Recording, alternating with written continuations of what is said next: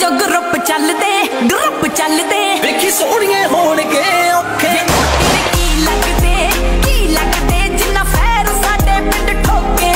ਬਾਰੇ ਤੂੰ ਪੁੱਛਦੀ ਤੂੰ ਪੁੱਛਦੀ ਨਹੀਂ ਆਪਾਂ ਤਾਂ ਬੱਲੀਏ ਜਿਗਰ ਦੇ